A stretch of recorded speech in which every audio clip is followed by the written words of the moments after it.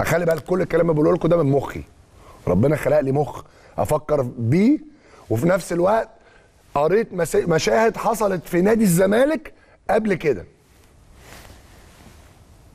فاكرين لما مرتضى منصور في انتخابات 2009 خرج من السجن قبل الانتخابات بأسبوعين ثلاثة ودخل قبل الانتخابات رشح نفسه قبلها بأسبوع وممدوح عباس نجح ومرتضى أبطل الانتخابات بعديها بسنة؟ فاكرين ولا لأ؟ طب فاكرين سنة 2021 لما مجلس مرتضى منصور مشي لما مجلس مرتضى منصور مشي وجه ثلاث لجان يديروا النادي وبعد كده أبطل الإجراءات دي كلها ورجع تاني النادي؟ الكلام ده بيتكرر مرة تانية. وبقول لكم الكلام ده على مسؤوليتي الشخصية. وهشرح لكم إزاي. والزمن الزمن هيوريكم. وقولوا ميدو قال والله من غير ما راجع بني آدم بس ربنا خلق لي مخ أفكر بيه. طيب ارجع لي. لو سمحتوا ارجعوا لي للمادة 28 والمادة 41 والمادة 43 في اللائحة الاسترشادية. فين هي يا جماعة؟ فين صورتها؟ بتقول إيه؟ طيب أنا مش مديني صورتها هنا. يجب أن يتوفر دي باللجنة دي اللائحة الاسترشادية يا جماعة بتاعت اللجنة الأولمبية. تمام؟ فيهم 10 نقط. بص بقى رقم ثلاثة بيقول إيه؟ ألا يكون قد صدر ضده أي أحكام نهائية بعقوبة جنائية. أو بعقوبة جنحة في جريمة مخلة بالشرف أو الأمانة أو قضي باشهار افلاسه بحكم بات. جيبوا لي يا جماعة محامين لو سمحتوا يردوا عليا. دي النقطة. ده مكتوب فين؟ في المادة 28 بند 3 في اللائحة الاسترشادية بتاعت اللجنة الأولمبية. طيب. هل مرتضى منصور دخل السجن دلوقتي بتهمة مخلة بالشرف؟ ولا ممكن في أي وقت يطعن يطعن في القضاء الإداري يقول إن دي مش تهمة مخلة بالشرف؟ قولوا لي.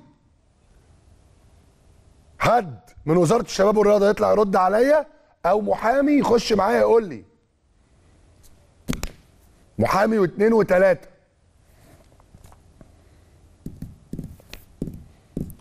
حضراتكم السادة المشاهدين فكروا معايا.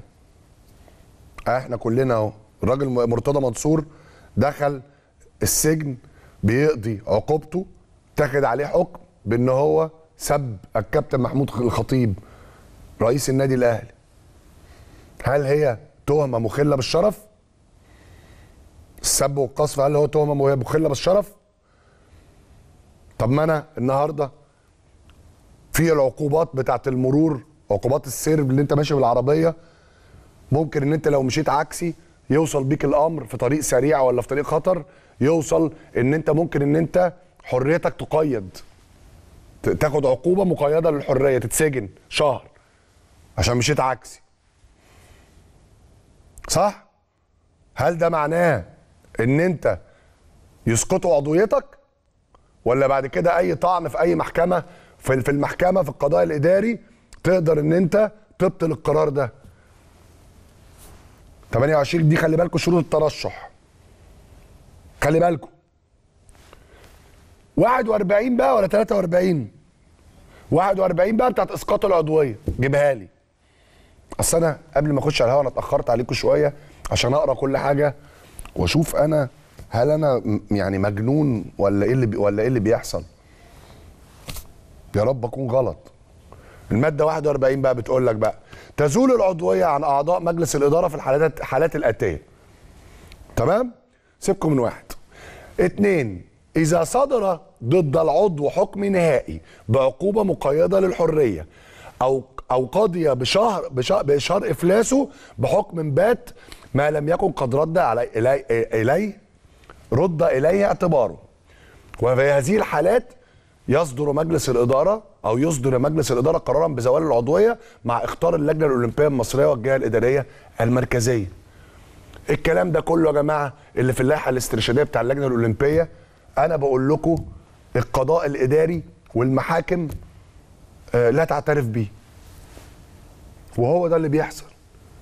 النهارده في إجراءات وزارة الشباب والرياضة بتاخدها تنفيذا للائحة الاسترشادية أو بتطلب من الأندية إن هي تنفذها وأي محامي في أي محكمة يبطل أي قرار بيتاخد زي ما حصل في نادي الزمالك مرة واثنين وثلاثه وأربعة.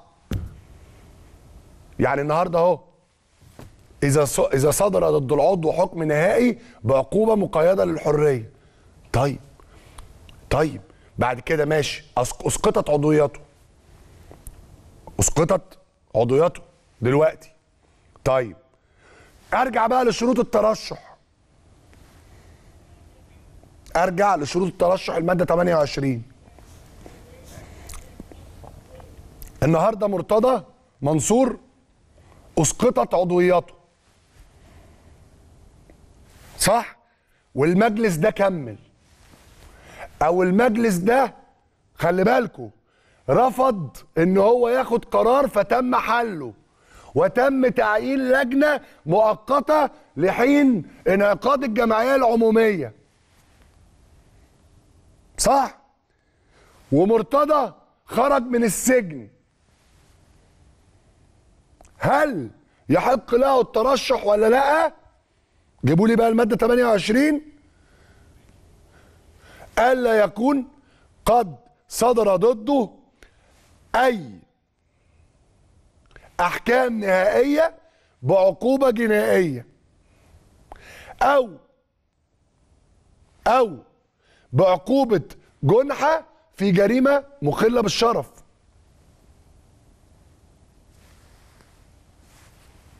أو الأمانة.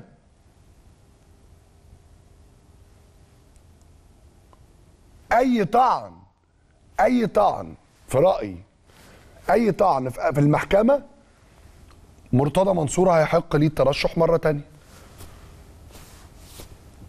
في الانتخابات اللي جاية. وافتكروا كلامي وقولوا ميدو قال.